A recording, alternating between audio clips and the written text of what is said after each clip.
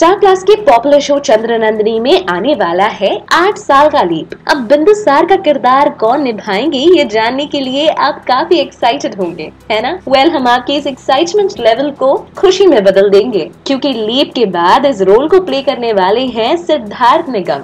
जी हाँ आपने सही सुना. सिद्धार्थ निगम निभाने वाले हैं बिंदुसार का किरदार. ये सिद्धार्थ के सभी फैंस के लिए एक बहुत ही स्पेशल न्यूज़ है. सीरियल का नया प्रोमो काफ़ी इंटरेस्टिंग है, जिसमें दर्शक देखेंगे कि महल में बिंदुसार का राज तिलक हो रहा है। चंद्र उन्हें कहते हैं कि वो जाके अपनी छोटी माँ, यानी नंदिनी का आशीर्वाद ले। लेकिन ये क्या बिंदुसार नंदिनी की तस्वीर के सामने तलवार निकाल कर उत्तेजित हो जाते हैं? पर तभी वहाँ चंद्र आते हैं और उनसे इस नफरत की वजह पूछते हैं। आखिर क्यों है बिंदुसार के दिल में नंदिनी के लिए इतनी नफरत? ये तो आने वाले एपिसोड में ही पता चलेगा।